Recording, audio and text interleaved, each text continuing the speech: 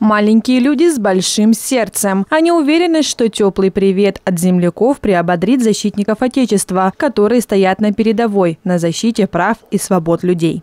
Дети очень ответственно подошли к такому мероприятию. Они рисуют от чистого сердца, прям с, с инициативой, с энтузиазмом.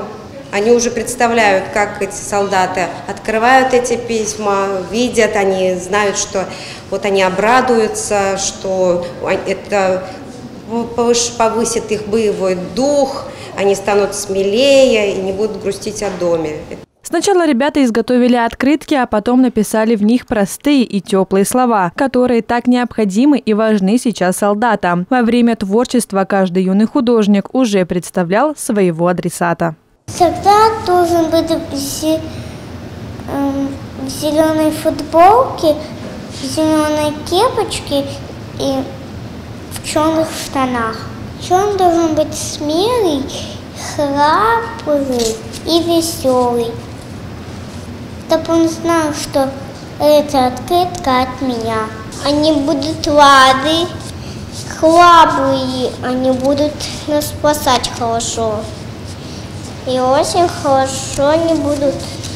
Думаю, что с ними волные люди. Всего за 40 минут 15 дошколят изготовили около 20 открыток, которые в ближайшее время доставят на передовую российским солдатам. У меня там наклеены звездочки и версовская лента. Я хочу отправить это солдату, чтобы он чувствовал доброту и, и чувствовал себя не одиноким. Написал внутри за победу и мое имя написал.